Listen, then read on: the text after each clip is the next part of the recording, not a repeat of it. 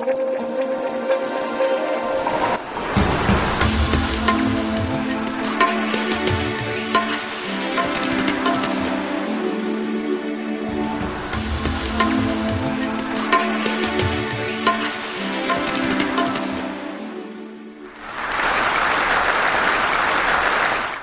single one of us has seen something so devastating that it has broken us. Maybe it's something quiet. A mother kissing her kids goodnight in the back of her old station wagon. Or something even more shocking, a man literally starving to death on the street. And when we see things like this, most of us feel it deeply. But we manage to pull ourselves back together and go on with our lives. But thank God there are people on this planet like Narayanan Krishnan who cannot. He comes from a life of privilege, but he shuns the cultural belief of some in India that says that men and women who are destitute, homeless, struggling, or suffering from mental illness are untouchables, unworthy of compassion. But he sees them as equal. That is why he cooks for them, feeds them, cares for them, and offers them the simple dignity of a bath. The sight of the hungry, the sick, and the homeless broke his heart to pieces. But he took those pieces and built a life for himself, helping people in need as their friend.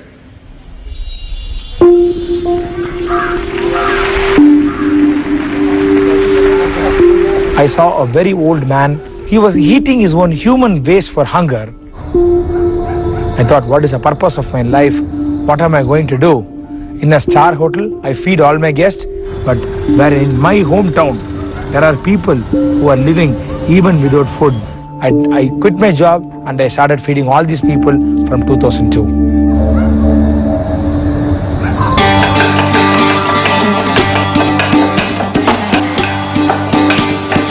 Today morning we made uh, ven pongal and sambar. Ven pongal is a blend of uh, rice and dal and for the lunch we made uh, tomato rice and sabji. We fed the homeless, mentally ill destitute and the old people who have been left uncared of the society. People are suffering for food. They don't have food to eat. If you don't give them food to eat, they will die out of human hunger.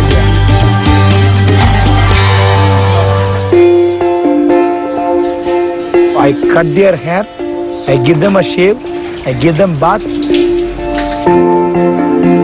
For them to feel psychologically that they are also human beings, there are people to care for them, yeah, they have a hand to hold, hope to live.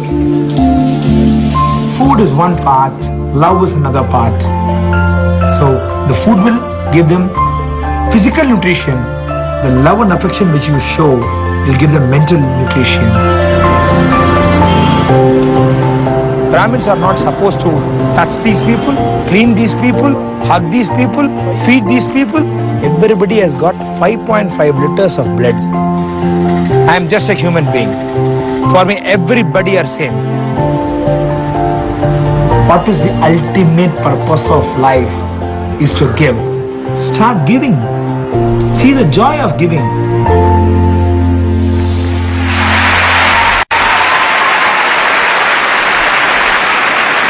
Ladies and gentlemen, it is my honor to present CNN hero Narayanan Krishnan.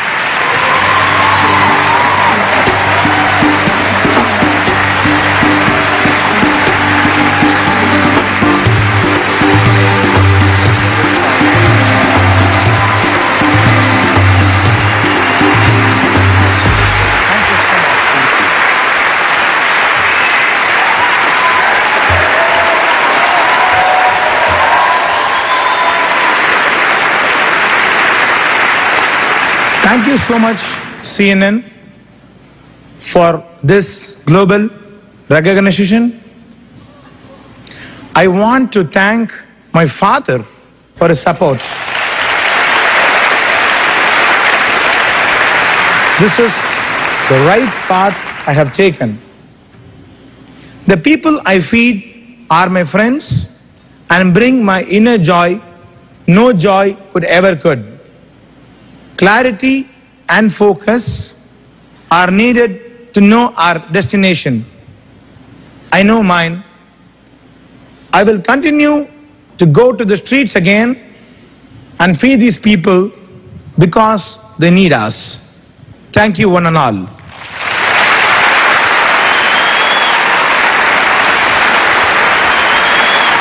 Came back to Madurai, which, which happened almost about 10 years before.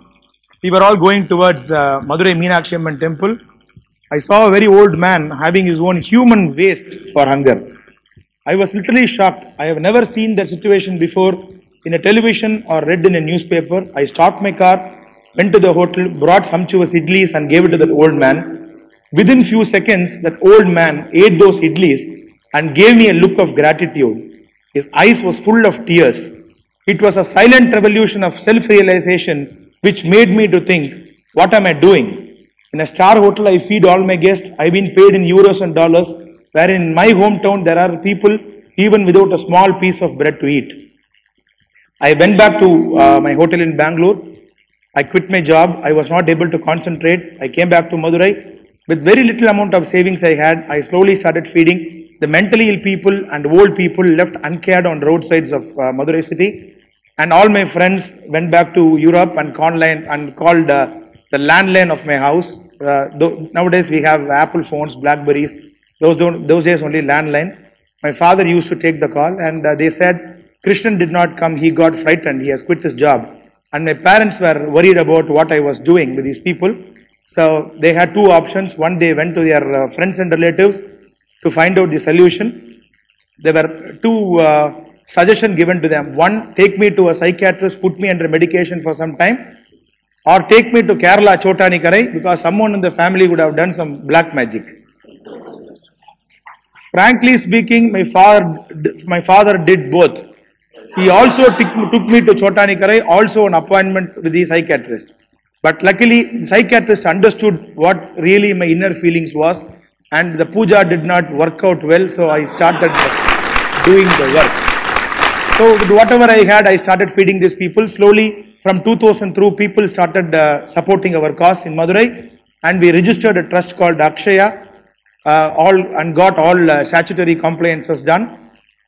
In 2005, I witnessed a lot of mentally ill people on the roads having long, long hairs.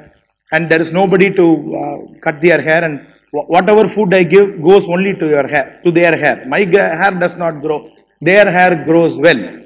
So I wanted to find out a solution for that. So I went to a local barber and approached. Some people said that they don't want to come and do it. Their hairs are sinking. Some barbers said that uh, they will come and do it. Barbers were all assembled uh, near uh, Periyar bus uh, Madurai, where we wanted to give haircuts for the people. What happened? The mentally ill people started seeing barbers as strangers, started running on the east side, the barber were going on the west side. It was a running and catching game going on roads of Madurai.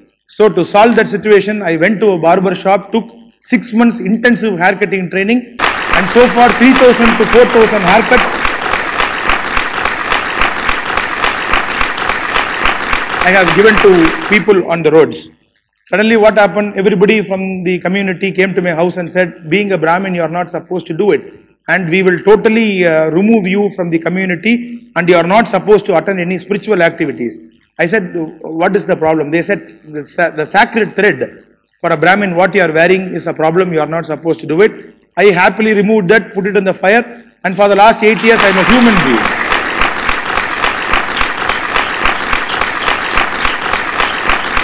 In 2008, uh, I witnessed a lot of mentally ill women on the roads are being uh, taken for a ride by anti-social elements of the society.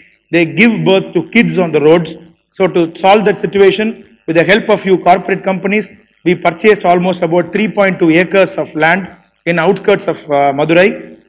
And in 2008, I was being selected as uh, the real hero by CNN IBN, Reliance Industries. And uh, with the help of that corporate company support, we were able to have a small infrastructure for about 1,500 uh, square feet. We just started building it.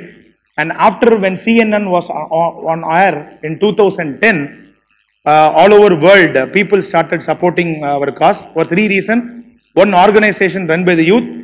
And second one is excellent quality of food is being served to the destitutes who cannot claim for. And third one is 100% maintenance of accounts. In our organization, we operate on less than 1% administration cost. Out of 100 countries, 10,000 nomination, Akshaya was being selected in top 24, top 10, and top 2 of the world. Only one Indian to get the Hollywood award representing everybody in this country. And in the award, the citation was being written. A.R. Rahman was being awarded for uh, Slumdog Millionaire. I was being awarded for Slum God Millionaire.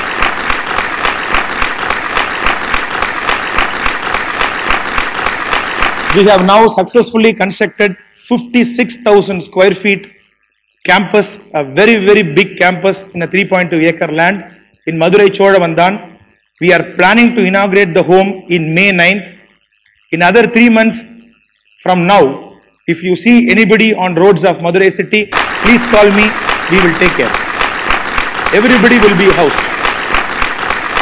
I also have a dream project. There are almost about tons and tons of uh, food is getting wasted in all the hotels and marriages, marriages hall in Madurai. So I have one uh, piece of ancestors property that is only remaining. Everything sold out and fed to these people. And, and on that uh, particular land, uh, I have a, I have a dream to construct a, a big kitchen and have all cold storage facility so that no hotel, including tea, tea shop, if there is two tea getting wasted and including a marriage hall, if a big uh, party thrown to people, if it is getting wasted, we, we are going to uh, have our own van and collect all the food and feed and feed entire Madurai city in another one year.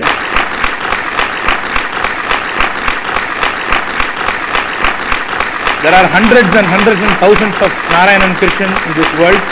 Please find out, encourage them, and we will make India a very, very better place to live in. I once again thank all the speakers, all the participants, and everybody in- involved in this uh, TEDx Coimbatore team. And I also thank my collector, Madurai collector, for uh, making his presence here. Very busy person. Thank you so much. Jai Hind. No stopping, I can't talk. That's wonderful. Food for thought, food for soul, everything. It's just unbelievable. And uh, we really admire you. And as you said, the whole point of, I think he was very hesitant to come here to take off even a day. He was hesitating so much to come out of his work. And I insisted, and I'm really glad that I did because I'm sure you're going to inspire uh, thousands of more Narayan Krishnans. And uh, you know, what has been uh, the most fulfilling thing for you? I mean, I know helping people, all that is one side of it, but what have you drawn personally from all these things? They don't thank for the support they get from us. They don't? They don't thank. That is a big. Uh, That is- that is a big, Oh, wow. That's really good. the smile in their face and gratitude in their eyes wakes me uh, every day in the morning 4 o'clock till 11 o'clock. good, Tom. Sorry. Uh, we are feeding almost about uh, 456 people, 3 meal a day. And so far we have fed more than 2.5 million meals to these people. That's amazing. Thank you so much. I know uh, he's held up with a person saying his devotion is uh, it's endless. I think uh, the devotion that you've shown to your profession and what you have learned and how you put to use for the society is just amazing. Thank you for your devotion and for being here in spite of all the hurdles that you've had. Thank, you so much. Thank you so much.